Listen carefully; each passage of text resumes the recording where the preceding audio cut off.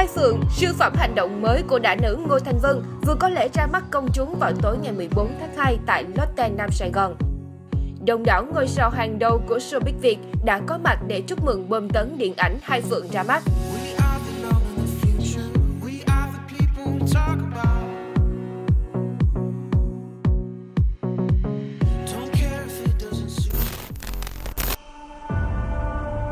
nhiều khi trong cuộc sống á không phải mình muốn là được cho nên có những lúc á mình bắt buộc phải làm những điều mình không muốn bất kể chuyện đó mình có thích hay không Hai Phượng là phim hành động cuối cùng của Ngô Thanh Vân trong vai trò đã nữ. Bộ phim đã mất 4 năm từ khi lên ý tưởng cho đến khi hoàn thành những công đoạn cuối cùng và ra mắt khán giả. Phim khai thác vấn đề bắt cóc và buôn bán nội tạng. Thông qua hành trình tìm lại đứa con bị bắt cóc, bộ phim mang đến câu chuyện cảm động về tình mẫu tử, về những mối quan hệ trong gia đình, bạn bè, người thân và nỗi sợ mà mỗi con người cần phải vượt qua để tự cứu mình và cứu những người thân yêu.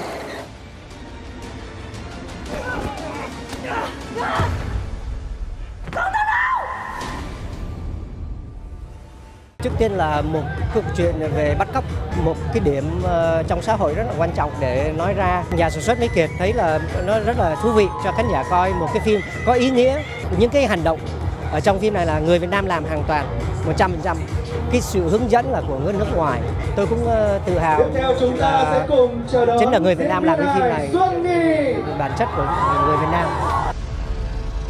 Đây là bộ phim đầu tiên của điện ảnh Việt Nam được công chiếu song song tại cả hai thị trường Việt Nam và Mỹ.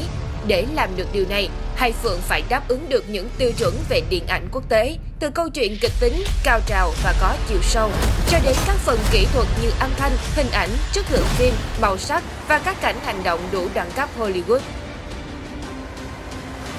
đối với lại cái bộ phim lần này phải nói là ngay giờ đây ngay tại ngay phút này đây thì vân cảm thấy vân xúc động hơn bao giờ hết. Vân nghĩ rằng có thể là tại vì vân đã biết mình đã cố gắng hết sức mình với sản phẩm lần này.